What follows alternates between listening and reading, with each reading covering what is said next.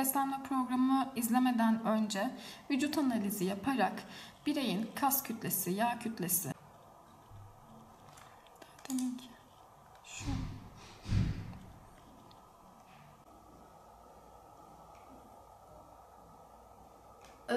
şöyle ki çocukluk çağı obezitesine değinecek olursak Dünya Sağlık Örgütü obeziteyi anormal ve aşırı yağ birikimi olarak tanımlar. CDC verilerine baktığımızda ise son 30 yılda çocukluk çağındaki obezite sayısı neredeyse iki katına e, çıkmıştır.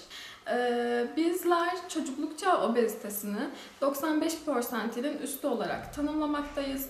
Peki çocukluk çağı obezitesi neden bu kadar arttı? Gelin birlikte bunlara değinelim. Öncelikle bir aileyi sorgulamak gerekiyor. Ailenin beslenme alışkanlıkları çocuğun beslenmesini de belirliyor. Aile sağlıksız besleniyorsa çocuk ebeveynlerini rol model alarak kendisi de sağlıksız beslenme rolü gösteriyor. Ee, onun haricinde psikolojik e, etkiler de tabii ki bunda söz konusu. E, strese bağlı olumsuz duygularla başa çıkabilmek için duygusal bir yeme tutumu gözleyebiliyoruz çocuklarda ve yaşam tarzı özellikle büyük önem arz ediyor burada. E, batı tipi diyetlerinin yaygınlaşması, yağ, şeker ve tuz içeriği yüksek ve besinsel açıdan besleyiciliği düşük olan bir e, diyet tutumu gözlediğimiz için çocuklardaki obezite oranı da artmaktadır. Ee, CDC'nin verilerine baktığımızda aslında çocukluk çağı obezitesi kronik hastalık risklerini de beraberinde getirmektedir.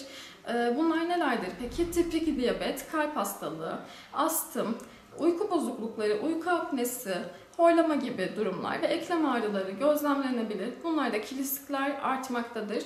Ee, peki biz bunlar için çözüm önerisi olarak ne gösterebiliriz?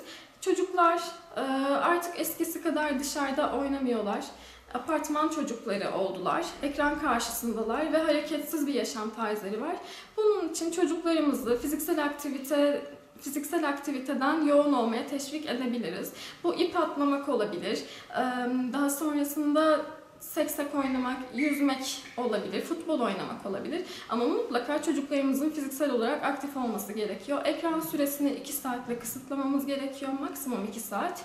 Ee, onun haricinde yemek yerken kesinlikle ekran karşısında yememeye özen gösterelim. Çünkü ekran karşısında yediğimizde ne yediğimizin farkında olamayız maalesef.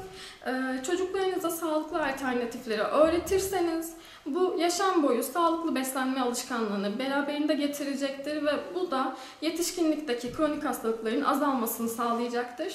Ee, besleyiciliği zengin, besinsel açıdan zengin, batı tipi diyetten ziyade Akdeniz diyetini uygulamanızı tavsiye ederim. Okullara gelecek olursak ise okullar çocuklara mutlaka sağlıklı alternatifleri sunmalılardır. Paketli gıdalardan, e, konservelerden, hazır işlenmiş gıdalardan mümkün mertebe uzak kalalım. Çocuklarımızı şekerden uzak tutalım.